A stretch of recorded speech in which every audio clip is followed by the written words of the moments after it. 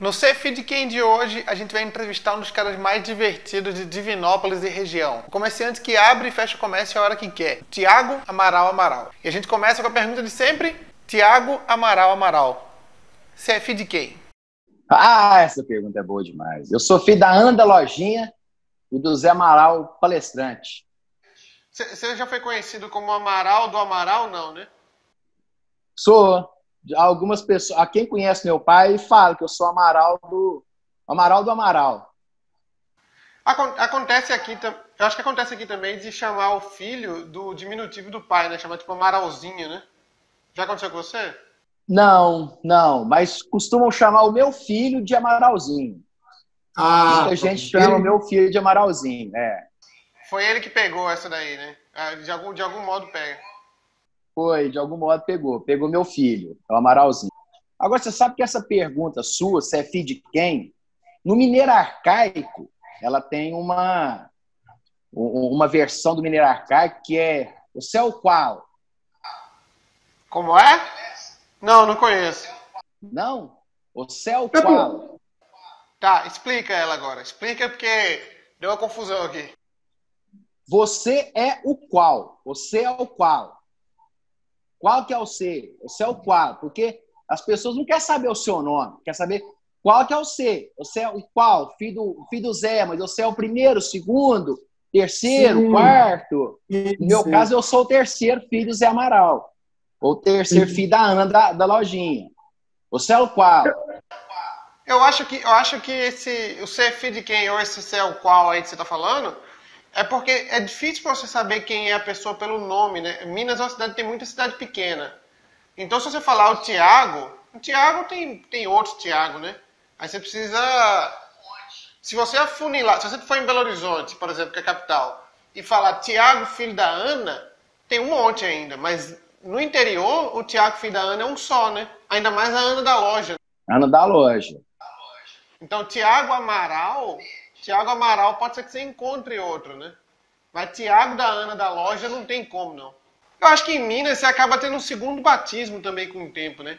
Você ganha um nome, é como se fosse o seu nome, nome civil, é aquele nome que vai na sua, no seu certidão de nascimento, e ganha o seu nome de mineiro, né? Você vai, você vai, vai se formando o seu nome com o tempo, de acordo com o que acontece na sua vida, né? Justamente. Os, os apelidos aqui ficam para a vida. Tem a cidade, a Cláudia, a cidade aqui do lado, que ela, ela tinha o catálogo, a lista telefônica, eles tinham uma própria com só com os apelidos. As pessoas, todo mundo da cidade tem um apelido. Então, tinha uma lista telefônica com um apelido, porque lá, ah, muitas vezes, as pessoas não sabem nem qual é o nome verdadeiro da pessoa, conhece só pelo apelido. E vem de menino. Cláudia, Cidade Carinho, é o apelido da cidade. Aqui do lado, né? Aqui pertinho. De... Aqui do lado, aqui pertinho, 40 e poucos quilômetros. Oh, você é de Divinópolis de nascença? Nasci criado aqui. Nasci de que, e criei. De que bairro é? Eu sou da capital dos bairros aqui em Divinópolis. O povo conhece de Planalto. Niterói? Aqui... Não, aqui Niterói. Niterói é outra cidade. O povo vem falar, ah, tá. capital do Niterói. Eu vi um vídeo lá do, do Diego defendendo Divinópolis. Ah, capital. Não, Niterói você pode falar que é outra cidade, mas capital dos bairros mesmo, se você digitar no Google capital dos bairros, vai cair aqui no Planalto. Tem a localização. Aqui é mundialmente conhecido. É onde fica, é onde fica a sua taberna? Isso, é onde fica a taberna. Onde fica a taberna deixa, e é onde deixa eu explicar aqui. Para quem não conhece o Tiago Amaral Amaral, ele é uma personalidade de Divinópolis que tem como a grande característica folclórica ter uma taberna que abre quando ele quer, né? Não é assim que funciona o horário de funcionamento? Justamente. E olha que coisa engraçada. Hoje, feriado, 11 de junho, e eu abri, vim trabalhar. é muito louco isso.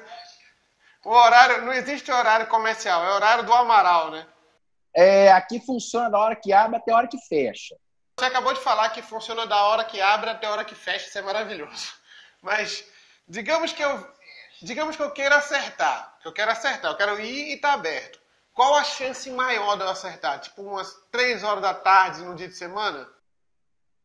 Três? 12h57 é o, horário, o melhor horário de vir na taberna. 2h57. É a maior chance. Tudo. É a maior chance de estar aberto é esse horário, porque se tiver o brioche de leite ninho, inclusive é esse horário que fica pronto. Às 14h50. Mas você fica. Mas você funciona até acabar as, as mercadorias, acabou as mercadorias, você fecha e vai para casa. Depende. Depende. Tem dia que é três e pouquinho, já acabou meus trem tudo, e eu fico aqui só fazendo graça. Eu fico aqui tão às seis horas, sem nada, só para falar não pros outros. Eu já tenho. Não, acabou. Porque... A melhor coisa, a melhor coisa é estar tá aberto para dizer não, né? É, tem ainda. Aí, tem, quando, a, a, a, gente está no, no, meio da pandemia. Mas eu fico, ah, quando a taberna funciona, né, ou quando ela voltar a abrir, de fato, tem um banco, um banco, de, banco de praça, que ele fica na porta da taberna. E eu fico ali sentado o dia inteiro ali, conversando, batendo papo. E o cliente chega, ou oh, tem? Não, acabou. Não, já acabou tudo. E mas então por que você não fecha? Acabou tudo, já está aberto para quê? Para cumprir horário. o horário de eu fechar a hora que eu quiser. Tem dia que eu quero fechar três e meia. Eu fecho às três e meia, independente se eu vendi tudo ou não. Porque como eu faço quitanda, é pão de queijo, bolo, rosca, pão, perder eu não vou perder. Eu levo para casa, eu como, eu distribuo com os vizinhos aqui, algumas coisas e tudo. Mas tem dia que acaba tudo. Só que eu tô aqui, eu, fico, eu gosto de ficar aqui pela prosa. Que eu falo seguinte, aqui na taberna, a taberna é uma micro padaria artesanal. E é uma padaria que não vende pão, eu vendo histórias. Então muita gente não vem para comprar o pão, vem mais pelas histórias, bater um papo, tomar um cafezinho, ficar conversando à toa. Então eu não posso fechar. Porque tem dia que eu fecho mais cedo, o povo manda, pô, mas você já fechou, agora não mais nada para vender. Não, mas daí? Eu queria só conversar, passar um tempo aí, ficar à toa. Aí eu falei assim, tá. Então tem alguns dias que eu fico aqui até seis, seis e meia, sem ter nada para vender, mas só pela conversa. Só pela, pela, pela, pela prosa. A sua taberna é praticamente um teatro onde todo dia o cara tem um tipo de espetáculo diferente. Né? Você vai e, e o pior é, é, é, é feito no improviso também, né? A, a, história vai se desenrolando à medida que o cara chega aí, né? Já teve gente que presenci... as pessoas presenciam isso ao vivo. De chegar aqui, eu brigar com o cliente, porque ele queria levar pão de queijo a mais do que eu queria vender para ele. Igual tem uma história do cara que chegou aqui. Eu tinha, eu tinha 12 pães de queijo no forno para sair. O cara chegou, e tinha umas 7, 8 pessoas aqui. E o cara falou assim, Thiago, eu preciso de cinco pães de queijo. Eu falei assim, não, sem chance, um monte de gente tá aqui esperando pão de queijo, só tem 12. Você não vai levar cinco. Não, Thiago, mas eu preciso de cinco. Pessoal, vou te dar dois. E tá bom, porque ainda vai ter gente aqui que vai ficar só com um. Ou, ou, nem, ou nenhum. Eu, não, tipo, eu preciso de cinco, nós somos cinco pessoas. Não, é dois e se quiser. Se não quiser, não, não tem problema, não. Aqui o povo compra. Povo, aqui, aqui o povo, alguém vai comprar. Eu, não, beleza, pode ser só dois. Eu fui, arrumei dois para ele. Entreguei o saquinho com dois pão de queijo para ele, ele me deu o dinheiro, eu busquei o troco. Na hora que eu busquei o troco, ele falou assim, Tiago, quanto custa o pão de queijo? Eu falei assim, cinco reais. Eu, não, beleza. E saiu. E o povo virou e na mesma hora o pão de queijo acabou, porque cada pegou, pegou, pegou, não sei o que. Na hora da confusão, tinha uma nota de cinco reais em cima do balcão. Eu falei assim, uai, gente, o que, que esse cinco reais está aqui fazendo em cima do balcão? E aí tinha uma, a, a senhora, a mãe de um amigo meu que estava aqui, ela falou assim, foi aquele homem que você não quis vender pão de queijo para ele. Ele pegou um pão de queijo aí e deixou cinco reais. Ele me roubou um pão de queijo. Nossa senhora, aquilo eu fui nas tampas. O pior. Não hoje mais dar conta.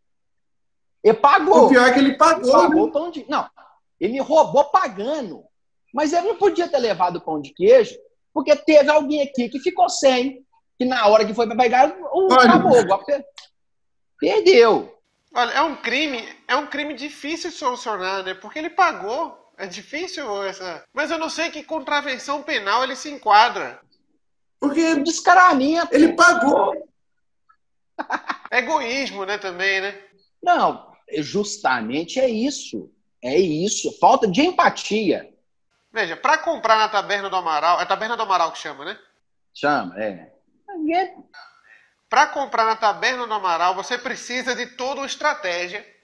Primeiro, para acertar o horário, você tem que fazer uma tabela, você tem que investigar o Amaral durante uns 30 dias para ver a média de horários dele. Porque há uma interseção de horários, né? Você chega, por exemplo, umas 2h50, você sempre está ali, entendeu? Hum, dependendo se for sexta-feira, se for sexta, é bom chegar um pouquinho mais cedo, 2h15, porque você tem que ter já um planejamento ali. E tem que sair de casa pensando, eu vou levar meus os cinco parentes, porque aí cada um compra quatro e a gente consegue comprar o que a gente queria. Então, há, há todo um plano. Corre o risco de eu não ter o total dos 20. Que se eu trouxer cinco parentes, cada um levar quatro, pode ser que não tenha os 20 para atender. Porque aqui também tem isso. A minha produção ela vai muito do meu humor. Tem dia que você vai assim, hoje está me inspirado. Hoje você fez. Mas tem dia que eu também não faço nada. Que eu fico aqui só para fazer graça. Ainda existe outro cálculo a ser feito agora também. Sim. Na verdade, aqui, quando eu falo para as pessoas, assim, ó. Você tem que imaginar. Vem de coração aberto. Tem que vir de coração aberto. Porque aqui você pode achar tudo, mas também você não pode achar nada. Inclusive até a porta fechada. Pensa comigo, você conseguir comer um pão de queijo seu, o cara volta para casa com sabor de vitória, né? Ele pensa, olha, olha o tanto de coisas que eu consegui superar. Primeiro, acertei o horário, ele estava lá, ele estava aberto. Consegui num dia que ele produziu uma quantidade boa de pães de queijo e consegui levar mais de três ou quatro, que não é fácil também, né? Não é fácil conseguir comprar três. Não, não é não. A maioria, qual a média de vendas? A maioria das pessoas consegue levar quanto? Não sei. Não, depende. Aí que tá. Depende muito do meu humor. Tem gente que chega e fala assim, Tiago, eu quero 10. Eu falei, sim, pode. Pode. Depende, depende da minha. Se me pegar na veia certa, eu, eu tem, é, é, é, ainda tem mais essa adversidade. O meu humor. Se eu tiver um dia bom, ei, você leva até meu coração.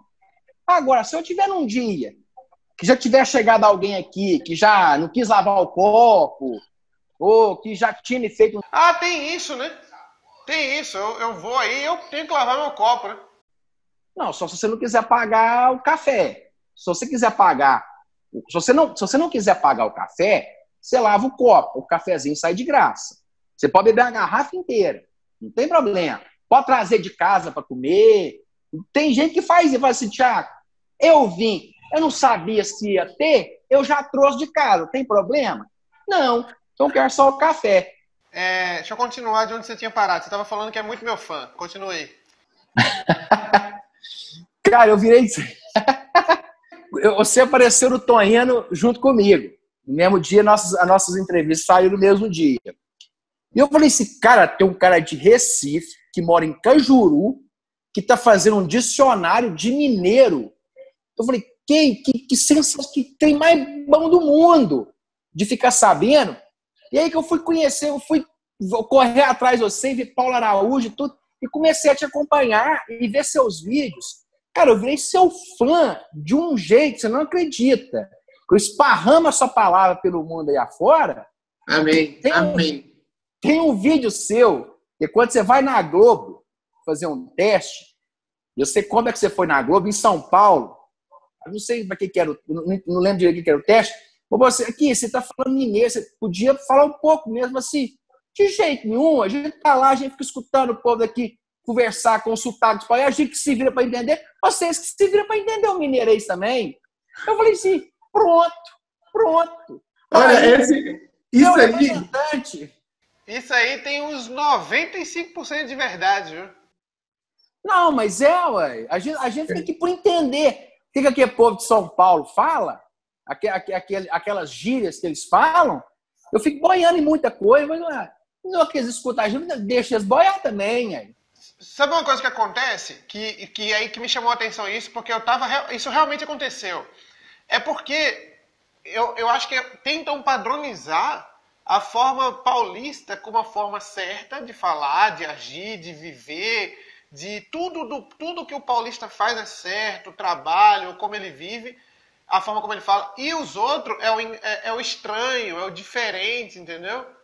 Não, velho, diferente é o deles. Diferente é o deles. Eu, eu, ó, eu acho que nordestino tem que chamar pai de pai e maninha. Eu, quando eu vejo um pernambucano que não chama o pai de pai e maninha, eu fico com um, um, ódio profundo dele, porque eu, é como se o cara tivesse rendido, né? Porque toda vez que fala pai e mãe, o povo zoa, aí o cara fica se sentindo meio ecoado e ele acha ruim isso. Eu, eu, eu valorizo muito o ai, o trem, esse negócio do mineiro não falar endereço, é maravilhoso. Quem se importa com endereço, velho? Que não, é. Você falasse, não, onde você mora? Mora na capital dos bairros, lá, do lado da escola, Planalto, em frente à casa do Soevi. Pronto. Ah, eu, eu vou chegar aí, Amaral, quando eu for eu vou até fazer um corte desse, desse vídeo aqui para o vídeo que a gente vai gravar aí no futuro. Quando eu for aí, eu vou usando este endereço que você acabou de me dar. É na capital dos bairros, do lado do escola, o nome da escola? Escola do Planalto. E o nome do senhor que mora na frente é qual? Sou Evi. Não, Evi, eu né? não. Desculpa. Sou, desculpa. sou Evi. A minha pronúncia ainda não é perfeita, entendeu? Eu tô no conversação, eu tô no nível conversação. Do lado da casa do Robertinho. Eu, como mineiro, eu, eu, eu acho sensacional a cultura mineira, isso aqui tudo. E eu gosto demais disso aqui, desse, desse trem todo de, de cafezinho, de, do jeito da gente conversar, e do sotaque, e da, da, da hospitalidade, essa coisa toda. E aí, a gente fa falar sobre isso é uma coisa que fica meio assim, fica meio pedante. Quando você, você que é de Recife, que para mim, depois do mineiro, é o sotaque mais bonito que tem, é o sotaque de Recife. De Recife, de, própria, de Recife, não do, do Pernambuco todo, não do Nordeste todo. Cê, você Recife. entende, você sabe o que está falando, porque o é Recifense, é, não, é muito diferente. É, o Recifense, é. para mim, só perde para o mineiro. Porque o mineiro eu não vou, não, eu não vou falar nunca que o, o, o sotaque recifense é, é mais bonito que o mineiro. Você não eu vai também, ouvir eu também, boa. Olha, que ninguém lá veja, mas eu concordo com sua opinião. mas ficamos com o honroso segundo lugar. Já é, mas já, já tá ótimo. Já... e aí, quando você vem de Recife, vem e começa a levantar e a pesquisar e divulgar essa cultura, é outra coisa, porque isso chama atenção. Que vai, o cara é mineiro, mas está falando de Minas. Ah, está falando dele, está tá, tá defendendo dele. Quando vem alguém de fora e começa a fazer esse trabalho, e a valorizar esse trabalho, que muita, eu, eu, brinco, do Horizonte a gente já perdeu. Do Horizonte já não é mineiro mais, não. Ele já não tem sotaque mais, eles já, tem a questão da influência de São Paulo, e eles, eles são cosmopolitas, né? Viviam numa cidade grande, então lá pouco se fala o sotaque. O sotaque em BH, quando você escuta um sotaque mineiro, é de alguém do interior que foi para lá. Belo Horizonte, o Belo uhum. Horizontino mesmo carrega muito pouco sotaque. O, sotaque não tem, tem algumas palavras, o ai, o trem, soa, que isso aí não tem jeito. Mas o sotaque, o jeito de falar arrastado, cantado, Belo Horizontino já perdeu faz muito tempo. Eu percebo que Divinópolis ainda mantém bem isso. O Diego, por exemplo, os meninos de BH zoam que o Diego é muito roceiro. Sempre eles brincam com isso. Mas nós somos mesmo. Aqui na porta, na porta da taberna, na, todo santo dia, todo santo dia, tem um senhor com a carroça e o seu cavalo, e ele caga, todo dia ele caga aqui na porta. Com a carroça. Carroça é um carro da roça. Agora me Ou diz. Seja, agora me diz, isso está errado? De jeito nenhum. Não tá. Ainda bem que é carga do outro lado da rua. Oh, eu, fui, eu fui em São Paulo, nesse, nesse episódio aí da Globo, eu fui em São Paulo fazer um teste lá pro, pro, pra quem chega lá, né, do Faustão. Aí, eu, na volta, eu, eu pensei, eles deram o transporte, né, pra ir pro, pro aeroporto, só que eu pensei, pô, eu vou fazer um tour de, Mine... de, de, de Paulista, eu quero ver um dia de um paulista como é. Vou pegar um metrô normal. Meu, cara, sem nenhum. A primeira coisa que eu pensei quando eu pus o pé no metrô, na estação, foi: que saudade de Carmo do Cajuru. Você tá louco, velho? Não, sem a menor condição. Não, você... Não tem condição de fazer nada. Na escada rolante, eles, eles querem andar. E você sabe que se você estiver na esquerda da escada lá, isso passa por cima, né? Eu levei uns pedal bobinho lá na, na escada. É. Eu frequentei São Paulo durante um tempo. Eu tive uma namorada lá. Meu amigo, uma bobagem que eu fiz na minha vida. Não tem porquê. Aquilo, aquilo não, não é lugar de ir, não. Aqui não é lugar de ir, não. Aqui é lugar de vir. E não dá, não dá. Ninguém para para admitir isso. Porque se, to, se, se, todos os estados pararem e falarem assim, olha, São Paulo está errado, viu? Tem, a, gente precisa, a gente precisa parar eles. Precisa parar eles um tempo. Eles estão fora de controle, velho. Cara, São Paulo está muito errado. Muito, muito, muito errado. Não dá para viver daquele jeito, não. Pô, no dia que, a povo vier aqui em Divinópolis, em Cajuru, e ver o ritmo de vida, nunca mais eles voltam para aquele lugar.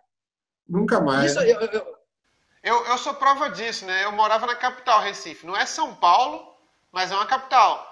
Quando eu vim em Carmo do Cajuru a primeira vez, eu falei, meu Deus, eu preciso morar aqui. Não tem. Eu acho Divinópolis agitado. Eu acho Divinópolis muito agitado. Tem dia que eu vou em Divinópolis que eu falo, ah, quero voltar para casa. Não estou aguentando esse ritmo aqui, não. A, a primeira de junho é insuportável. Muito movimento, carro, gente, é muito movimento. Divinópolis? Ah, eu acho. A, a Goiás é 1 de junho, é muito movimento.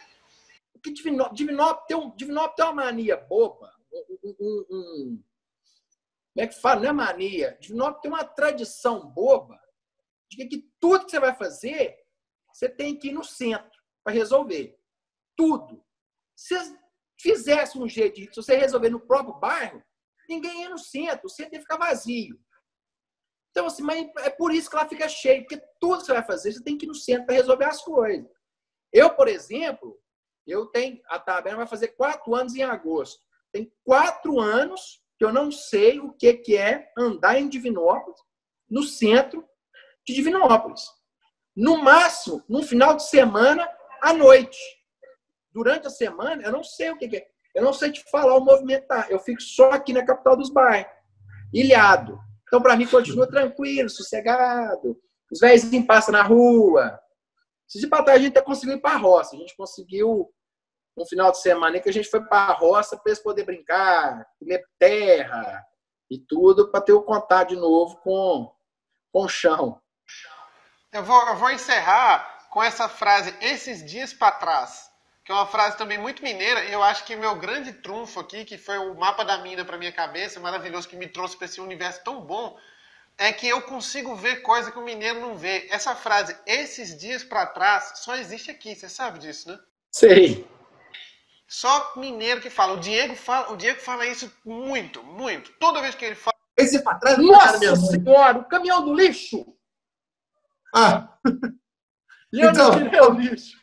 Vou deixar seguir, vou deixar você seguir sua vida aí. E agora, esses dias para frente, você joga o lixo, tá bom? Valeu, Amaral. Eu tirar o lixo. Valeu. Esse foi mais um CF de Quem com Tiago Amaral Amaral, da Taberna do Amaral em Divinópolis. Você pode conhecer o Amaral no Instagram, que está aparecendo aqui agora no vídeo. E não se esquece de se inscrever no canal, dar o seu joinha, ativar o sininho, comentar aqui embaixo o que, é que você achou da entrevista. E a gente volta durante a semana com outros vídeos e na semana que vem com mais um CFI de Quem, com outra prosa, com outra conversa fiada. Obrigado e tchau!